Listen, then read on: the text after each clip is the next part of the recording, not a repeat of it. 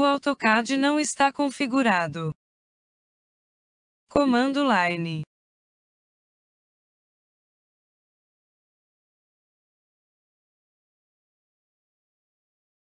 Aperte o botão direito do mouse. Aperte Repetir.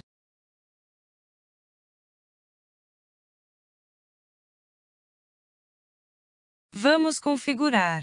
Deixar comando automático. Digite OP. Abra a janela Opções. Clique em User Preference. Clique em Customização botão direito. Selecione Repetir o último comando.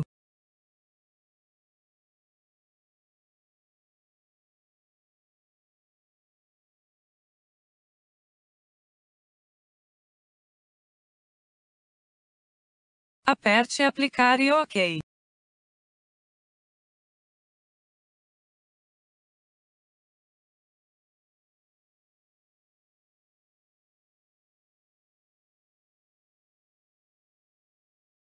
Comando Line.